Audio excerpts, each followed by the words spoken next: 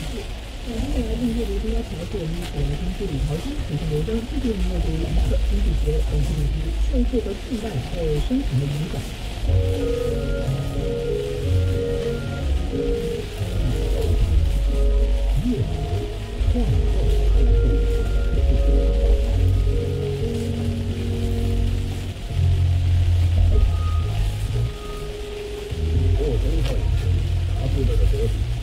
是创造了新的生意，还是名字的损失？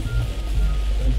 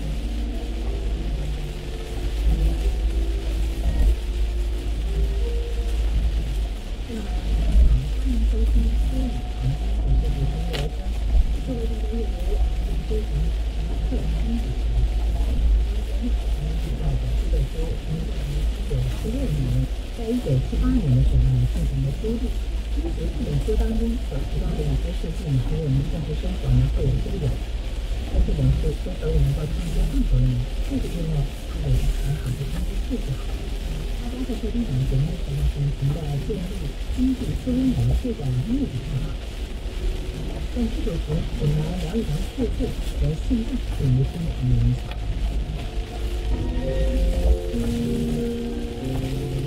当时政府支出所创造的财富不可能完全就长期为自己支出经济所支配。因为常常认为，税就好比把国家的钱从约定口袋掏出来放进手边的口袋，将问题变成如此简单。举个例子来说，主张政府支出给人会告诉人，如果全年国民收入是一万五千亿元，年邦税收是三千六百元，那么就只有百分之二十四的国民收入从私人用途转到了公共人。这种说法好像是把整个国家当成资源汇集到了一处大公司，资源转移只是账面上的小比例。政府支出的组成者呢，他们是把公平的钱拿去资源地方。更刺激的是，他们对此十分清楚，但是上传这个过程给地方所带来的利益，以及由此所带来的其他种种美好。并宣称，如果没有把钱转移给他，这些美好情景就不会发生。这让了市场交易对于 A 方所造成的影响。我们看到的是地方，却不忘地方。在现代社会中，每个人所承受的所得税比例不尽相同，所得税负的重担往往是落在家中收入很低的地区的一部分人身上，而且必须开征其他还没有传播的赋税交易补充。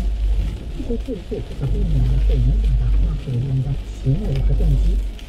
如果一家公司发生了危险的时候，全额自负，一亿值每件一美元就只能自留五十万美金，那么在其盈利不足以弥补亏损之时，公司的金融政策就会受到影响。它不会再扩大经营，或者是扩张那些风险最低的业务。当然，这种情况下，甚至还会打消再创业的念头。现在的雇主将不再增加员工的数量，或者是不想再增加那么多的雇员，其他人根本不打算成为雇主。设备改变和工厂装备改造将会放慢进度。长此以往，消费者将买不到原本可以更加物美价廉的产品，失去公司和自身体验。把个人所得税率调升到百分之五十、百分之六十或者是百分之七十，都会有类似的影响。我们可以反思，今年一年下来，有六到九个月的时间要为交税而进行贡献，只剩下六个月、四个月甚至三个月的所得供自己的家人使用，而赔钱的时候自然必须承担全部的损失，赚钱的时候只能留下一小部分利润。那么这个时候，拿自己的钱再去冒风险，是更不可取的。此外，他们可以用来冒险的多余资金也大幅增加，因为资本因为积累积就开始被增长。总而言之，用来创造稀有部门新就业机会的资本，一开始就无法形成，能够投入的资本又缺乏。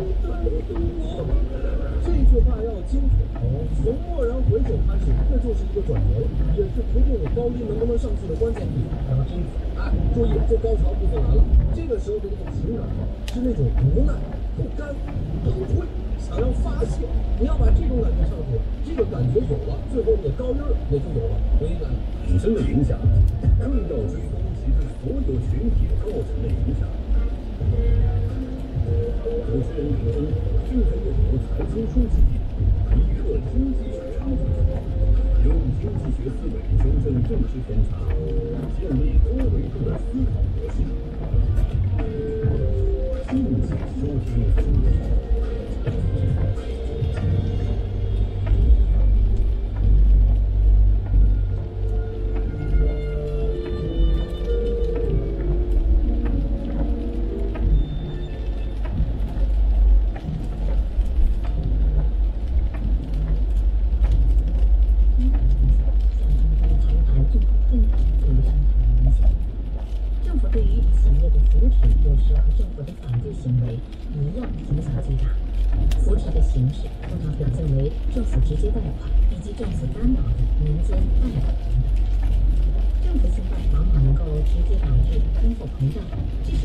变得更加复杂对于通货膨胀造成的各种影响我们留在以后的关系会再次分析那为了简化程度我们来先感设具体现在合并了通货膨胀的趋势通货膨胀虽然具体分析复杂但是从根本上改变和改变政策的实施结果书中写道国富经常会提到一些提案来增加对人能的认可多数国会爷们会农民取得的贷款永远的不够在他们眼中私人抵押地产公司保险公司或者是乡村银行提供的贷款从来谈不上冲击不管人们已经替农民找到了多少贷款额度总是会不断的挖掘出现有的贷款机构还没有填补的新缺口农民获得的长期贷款和短期贷款似乎已经够多了但现实的结果表明中期贷款还远远不够农民们或是指责贷款门槛太高，或者是指责贷款只贷给了一些条件好的农民。因此，国会便通过立法给农民安排更多的新的贷款机构和新的贷款利率。其中就不难发现，有两类短缺的行为导致了人们对这些政策满怀信心。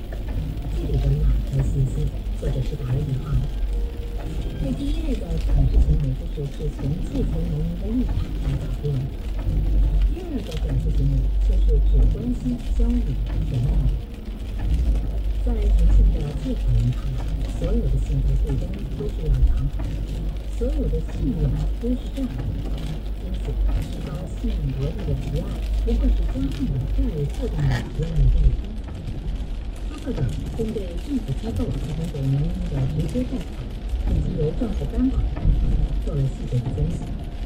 书中写道，这类贷款有两大类，一类是用来帮助农民把谷物囤积起来，再不上市。作者认为这一类是属于特别有害的贷款。另外一类是为农民立业而提供资金，让他们买得起农场、骡子和拖拉机。乍一看，这类政府贷款似乎很有必要。赞同者对政府来说，这里有个贫困家庭缺乏谋生的手段，让他们靠领取救济今生活，是件冷酷而浪费的解决办法。要帮助他们买个农场，帮助他们立业，让他们靠劳动成为自食其力的公民，使他们能够为国家的经济增长尽一份力，运用自己的产出来偿还贷款。赞同者还说，那里有个农民买不起拖拉机，还在使用原始落后的方式在耕种土地，要借钱给他买个拖拉机，帮助他提高生产力，让他能够靠增产所赚来的钱还给父亲。这样一来，既能够让他靠劳动致富，又能够增加产出，使整个社会更加富有。赞同者得出的结论就是，这类贷款因为是自偿性的贷款，是不需要政府和纳税人来负担成本。但是作者强调，私人提供的贷款和政府提供的贷款有着根本的不同。一个私营放贷者都是用自己的资金来承担风险。当人们拿自己的钱去冒险时，通常会慎重地审查借款人是否有足够的资产做抵押，审查其经营能力和诚信度如何。倘若政府依照同样严格的标准去办理贷款业务，那么政府根本没有必要政府这一行。作者认为，政府真正付出的并不是钱，而是实体资本。钱不过是交易的媒介，政府真正借出去的是农场或者是拖拉机本身。农场的数量有限，拖拉机的产量也有限。把农场或者是拖拉机借给了 A，就没有办法再借给 B。因此，真正的问题就在于，应该得到农场到底是 A 还是 B。由于私人借贷和政府借贷的审查标准和利率可能不同，因此这就大概率地产生了一个结果，就是所谓的实体资本，也就是实际的农场和拖拉机等没有交给效率更高、值得信赖的人，很有可能落到低效率的借款人手里。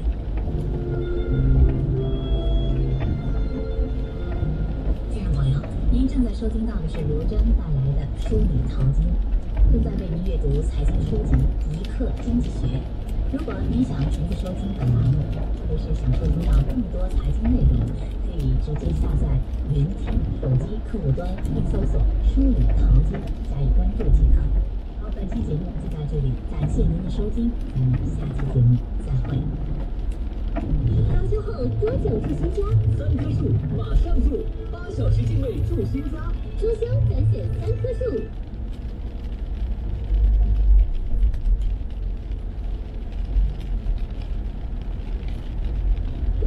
中国豪华 MPV 创名者风云坐驾头等舱。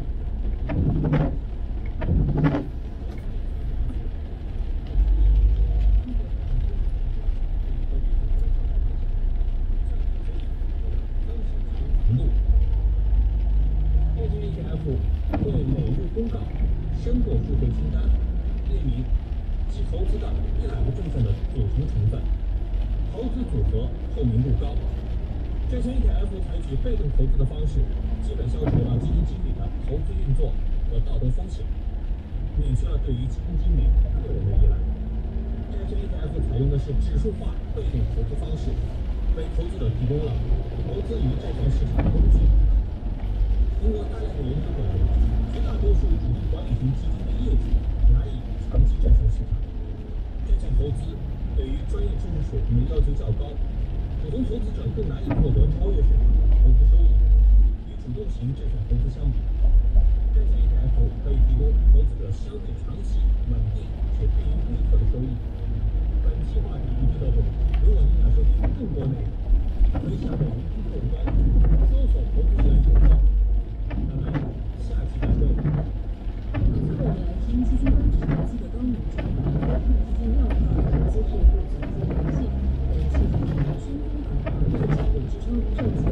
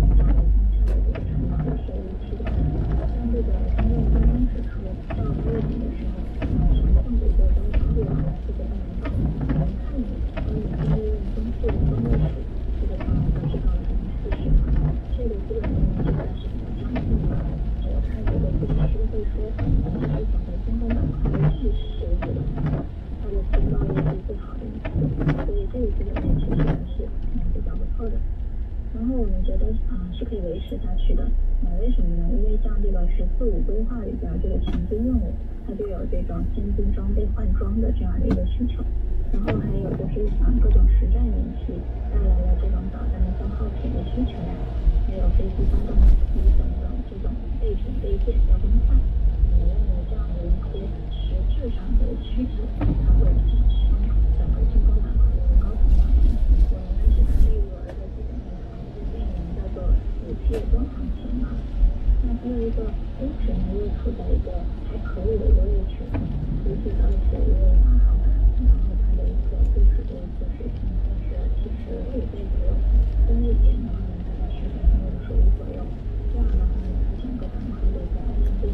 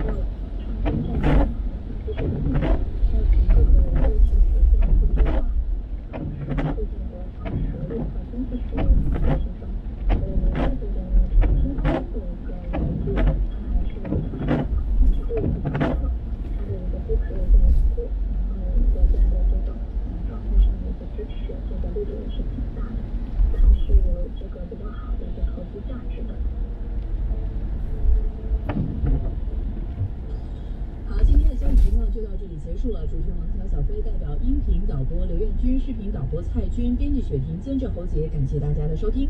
欢迎大家搜索并下载央视频、央视财经、云听 APP，登录央广网收听收看更多精彩节目。也可以进入央视频交易实况直播间参与节目互动。周末愉快，我们下周见。是不尽的梦熟悉。